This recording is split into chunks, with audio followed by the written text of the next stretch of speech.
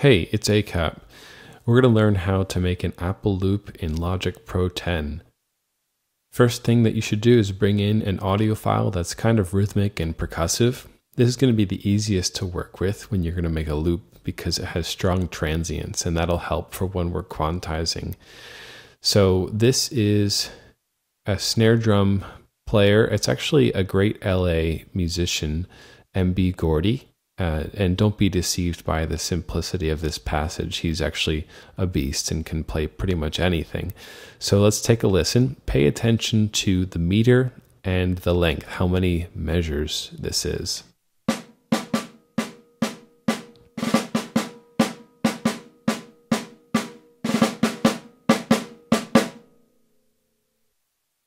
Okay, so this is in 4-4, and I don't have to change anything. It's already in 4-4.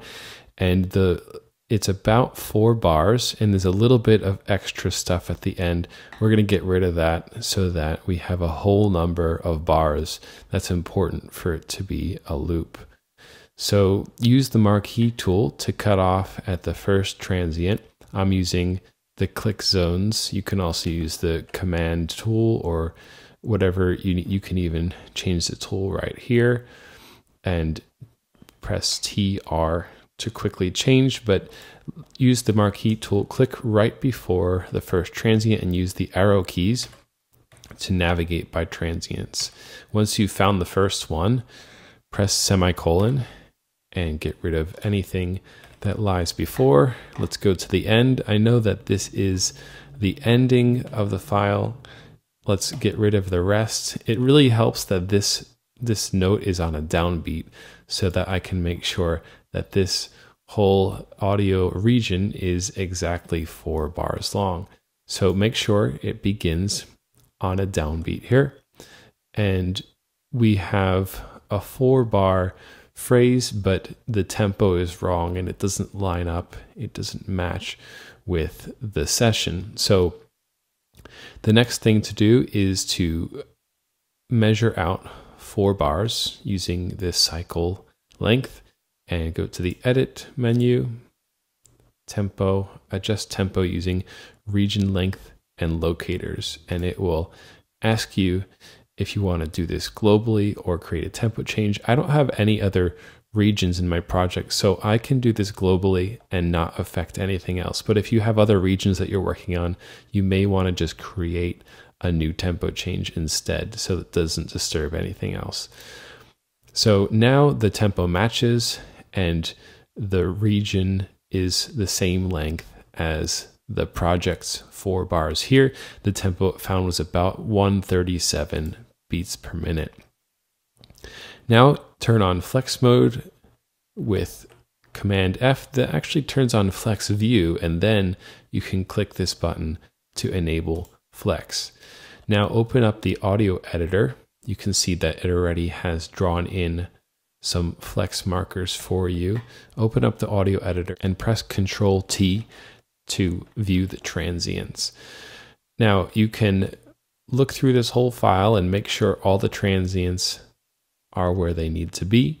And if you don't want some, it's very easy to delete them. You can just double click and you can see in the range window that it is synchronized and where this transient is deleted, so is this flex marker. So you can also delete some transients by using this minus button and then you can add some more in the selected region by hitting the plus button until it's gray and then it can't find anymore. So it, depending on how precise you want this to be, you can add more also with the pencil tool. Um, my command click tool is set to the pencil tool and you can just add them like this. I don't really need these grace notes here.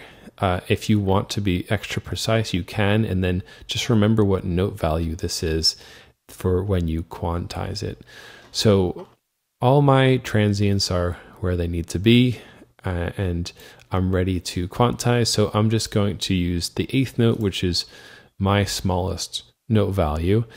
And you can see that some of the notes got adjusted. This is after all, a human performance, and even professional musicians sometimes play a little bit ahead of the beat or behind the beat. That's what makes them human, after all. So, this is our quantized performance. Sometimes, because of the nature of the performance, some notes may get quantized in a place that you didn't want them to go, so you can easily just drag these flex markers to another grid line.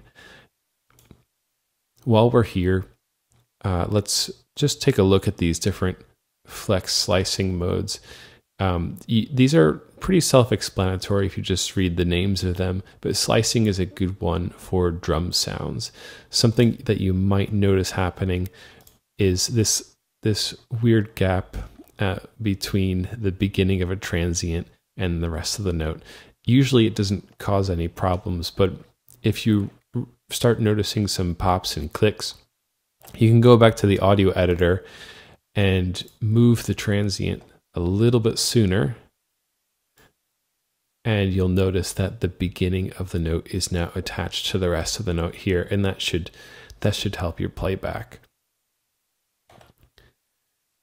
So now that it's quantized, uh, it's time to make the quantization permanent. And the way that you do that before you export the loop is you can either bounce this region in place by pressing Control B, or you can make a cut anywhere in the region and then rejoin it.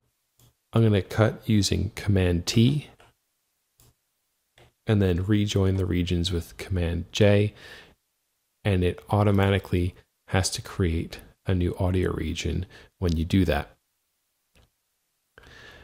Now that you have your new region, you can just you either right click on the top bar here and you can export it to the loop library or you just use this shortcut key control shift O. Name it however you want. And these options, if you want to select some of these, you can, but it's going to go to the same place no matter what. And make sure loop is selected. If loop is not automatically selected, your region is probably not exactly an, a whole number of bars. So create the loop.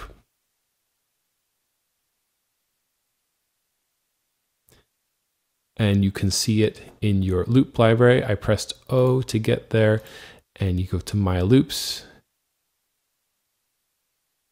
and there it is. I'm going to show you where this file ends up in the Finder because you may want to know for the future. So go into your system drive. This is usually called Macintosh HD. I've renamed mine. Now in this main library folder, you can find the default loops that come with Logic, but we're going to go to your custom loops folder. You go to users, your username, library, audio, Apple loops, user loops, and they're all here. So this is the one that we made. You can see that Logic automatically creates them as an AIF and of course, the file that you bounced earlier, when you bounced this in place or when you made a split and rejoined this file, that's going to be in your project files. So let's say you created this loop and you don't like how it sounds, so you want to get rid of it. In the Finder, you can delete it here, but then you have to update you have to re-index the loops here. You can see that it's grayed out, but it doesn't automatically disappear.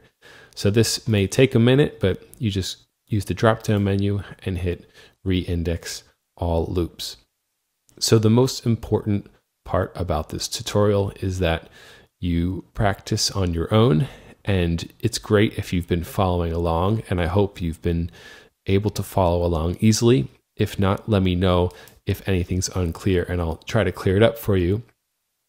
But I really encourage you to, after you've gone through this video with me, to make some loops on your own. Pick some more rhythmic audio files and, and make a whole bunch of loops uh, without watching this video so that you can really learn and really know how to do this for yourself.